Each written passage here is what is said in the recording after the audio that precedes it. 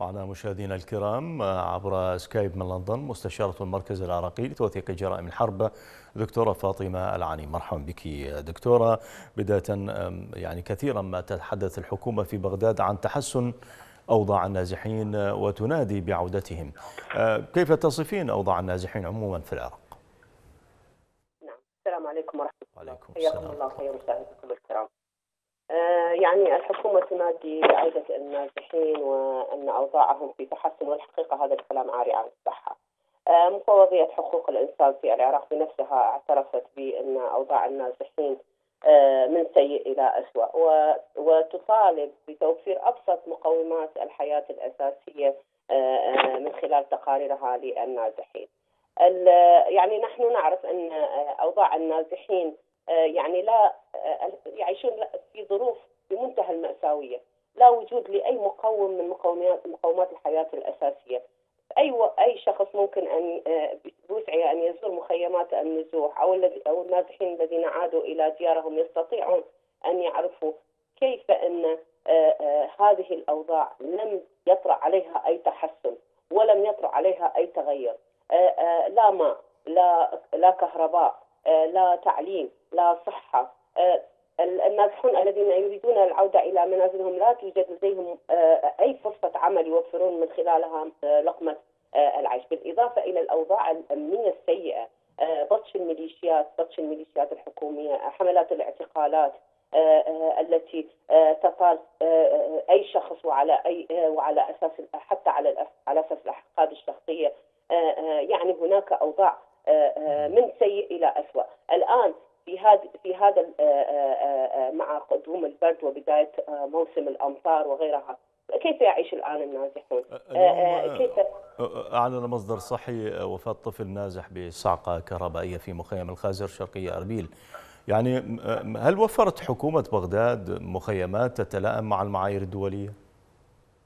لا توجد، لا توجد في كل هذا الذي كان يظهر على وسائل الاعلام كلها مجرد دعايات فقط لأجل أن تستمر العمليات العسكرية وأن يحققوا هدفهم وهو النصر المزعوم وتحرير المناطق وما يدعونه من مزاعم. ولكن حياة الإنسان وكرامة الإنسان والحفاظ على الأبرياء وانقاذ وإنقاذهم كما يدعون هم جاءوا لتحرير هؤلاء الأبرياء من من قبضة المنظمات الإرهابية فأين أصبحت أحوال هؤلاء الأبرياء من سيء إلى اسوء هجروه هجروهم قسريا من منازلهم وشردوهم في مخيمات النزوح بدون أي توفر أي شرط من شروط استمرار الحياة. والدليل على ذلك الأمراض التي انتشرت وفتكت بالنازحين وخاصة الأمراض الجلدية. الآن مجرد بدات بدأت الأمطار بدأت الصعقات الكهربائية وغيرها والتماس الكهربائي الذي يودي بحياة الأطفال، بدأت المدارس أين هم الأطفال النازحون من الذهاب إلى المدارس والالتحاق بالتعليم؟ عماله عمالة الأطفال على على يعني أوسع نطاق بين النازحين، هذا اذا هذا هذا إذا وجدوا أصلا فرصة عمل، نعم. النساء أيضا اين أين حرية وكرامة المرأة والحفاظ عليها، كل هذا الشيء لا يتوفر. يعني أليست الحكومة إذا مسؤولة في عدم تهيئة هذه المدن وعدم تهيئة بيئة مناسبة لهذه المدن المتضررة من جراء الأعمال العسكرية لعودة النازحين. نعم بالتأكيد هي مسؤولية الحكومة العراقية أولا وأخيرا. تهيئة. انتهت العمليات العسكرية الآن مضت عليها أكثر من عام. كم كم من النازحين عادوا وبكرامتهم وتم تعويضهم بصورة عادلة ووجدوا منازلهم. الآن الحكومة يعني لم تعوض حتى النازحين يعني بصورة ترجع لهم كرامتهم. يعني نزحت ملايين الملايين من ديارهم وتهدمت المدن بنسب 80 و90% المدن الكبرى مثل الموصل والرمادي ومدن صلاح الدين أين التعويضات للنازحين؟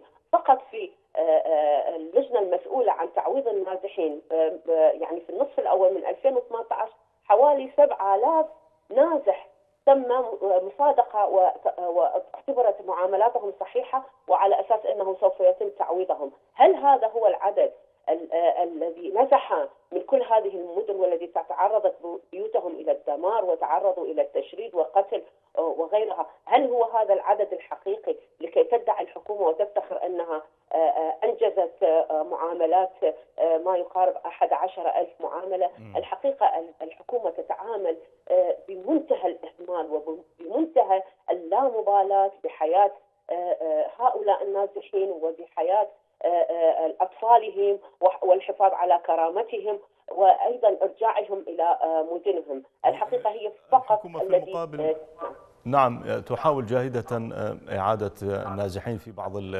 المناطق التي تقول إنها مهيئة. ولكن ألا يمثل تمثل هذه العودة خطورة مع تردي الأوضاع الأمنية كما ذكرت وانعدام حتى الخدمات وانتشار الأمراض نعم يعني في دراسة للأمم المتحدة يعني ركزت على سببين رئيسيين الذي يضمن عودة النازحين. أولهما توفير فرصة عمل والثاني توفير الأمان. والحقيقة هذا لا وجود له لحد الآن في هذه المناطق. فرص عمل اين اين أين يعمل هؤلاء؟ الدوائر الدولة لا تعمل، لا توجد يعني كثير يعملون في في التعليم، لا توجد مدارس يعني تخدم فيها تخدم تقدم الخدمات في هذه الفترة لكي يعمل فيها المعلمون، أين المراكز الصحية؟ أين المستشفيات؟ هذه توفر فرص عمل الكثير من قطاعات الشعب أيضا عمال البلدية حتى عمال الخدمات هذه لا توجد. اذا أين هي فرص العمل؟ كيف يمكن أن يؤمنوا لقمة العيش؟ الأمان الأمان ليس فقط معناه توفر الأمن حماية الشرطة وغيرها. هذا يشمل الأمن الغذائي أمن الشراب وغيرها. أين هذا كله؟ تصور أن يعني الأطفال لا يجدون يعني طاقية تحميهم من البرد. يعني الحقيقة طلعنا على صور أحد النسوه تقوم بالتبرع بحياكه طاقيات لكي تحمي الاطفال النازحين من البرد لكي يذهبوا إلى المدارس. يعني الحقيقة وضع مأساوي جدا والحكومة يعني أغلقت هذا الملف ولا تريد أن تفكر بهذا الموضوع نهائيا وكأنها قد حلت هذه المشكلة من أساسها واعتبرت هذا الموضوع منتهي ولا تريد العودة إلى الماضي، هي فقط يعني يعني أنجزت العمليات العسكرية والباقي لا ليس له أي اعتبار بالنسبة لها. نعم. شكرا جزيلا لك عبر سكاب من لندن مستشارة المركز العراقي لتوثيق جرائم الحرب دكتورة فاطمة العلي.